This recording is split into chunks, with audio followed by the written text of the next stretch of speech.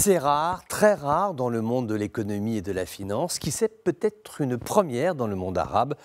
Le Premier ministre irakien Mohamed Shia al-Soudani a limogé le gouverneur de la Banque centrale irakienne. Motif, son incapacité à empêcher la dégringolade de la monnaie nationale. Le taux de change du dollar américain par rapport au dinar irakien a atteint son niveau le plus élevé depuis 2004, ce qui affecte considérablement l'économie irakienne. La majorité des biens, des produits sont importés de l'étranger et payés en dollars. La hausse du billet vert a commencé quelques semaines après l'arrivée au pouvoir du nouveau gouvernement. En octobre, le Premier ministre avait fixé des règles hein, interdisant aux quatre banques irakiennes importantes de participer à des ventes aux enchères de devises, car c'est contraire à la réglementation, et en fixant une limite quotidienne d'argent que les citoyens peuvent retirer au guichet. Aucune de ces mesures n'a eu le résultat escompté. Le prix du dollar n'a cessé d'augmenter. Le problème, c'est que le réseau bancaire irakien n'a pas développé de système informatique électronique permettant à la Banque centrale de surveiller les mouvements d'argent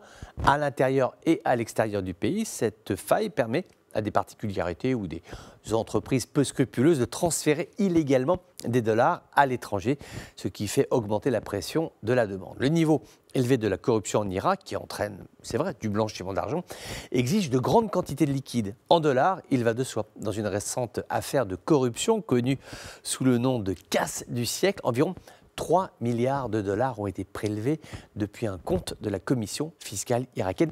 3 milliards de dollars en liquide. C'est absolument énorme. En remplaçant le patron de la Banque centrale irakienne, Soudani espère régler ses euh, problèmes. D'une part, en renforçant les contrôles sur les mouvements euh, financiers du dollar dans le pays et en assouplissant aussi le mécanisme d'obtention de la monnaie américaine, en clair, en faisant un peu tomber le niveau de stress hein, sur sa disponibilité. Ce dossier est en train de devenir politique. Les parlementaires du cadre de coordination, qui est un bloc de partis chiites irakiens, accusent les États-Unis de faire pression sur le gouvernement en utilisant ce mécanisme financier, a dit Al-Amiri, le chef de l'organisation Badr et de l'alliance du Fatah, accuse aussi les États-Unis d'utiliser le taux de change du dollar pour faire pression. Bien évidemment, la diplomatie américaine s'en défend et plaide sa bonne volonté pour aider à résoudre cette question qui aujourd'hui fait peser un nuage noir sur l'économie irakienne.